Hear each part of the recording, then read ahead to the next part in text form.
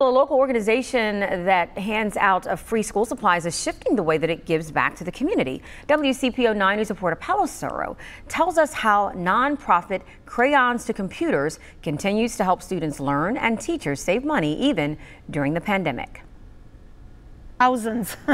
That's how much money ESL teacher Tracy Sheridan says she'd be spending if Crayons to Computers wasn't around. For me, it's critical. My students don't come with stuff in their back pocket. The charitable organization, which gives teachers who work in schools where 60% or more of the student population is on free or reduced lunch, has shifted the way they serve. It is a strange year. Just like some educators shifted the way they'll be teaching. The bottom line is that kids still need basic school supplies in order to be successful in their learning, and learning must go on. And the help for students and educators goes on too. Usually, these shelves are filled with supplies and the room filled with teachers, but all of that has moved outside with this drive through distribution where every half hour, 25 car trunks will start to fill up. And they'll receive a kit, a tote bag with a number of supply items in it, get a case of binders, and possibly to get a flower arrangement to uh, make their remote learning environment a little bit more attractive as well. It was quick.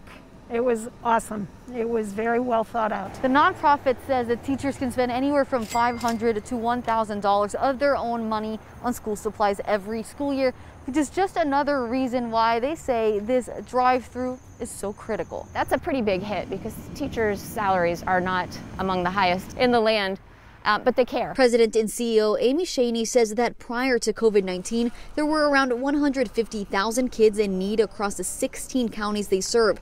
Now and for the foreseeable future, she adds the need is even greater. There are so many families that are struggling with unemployment, and if you can't put food on your table for your family, you aren't going to be able to provide school supplies. And while the help has shifted from indoor to outdoor, Cheney says their goal to hand out around 2,000 kits is similar to the number of store visits here last year. Oh, gee, probably would come at least four times a year. If I didn't have this support, I would be going to Staples and spending my own money. Paolo Lucero, WCPO 9 News.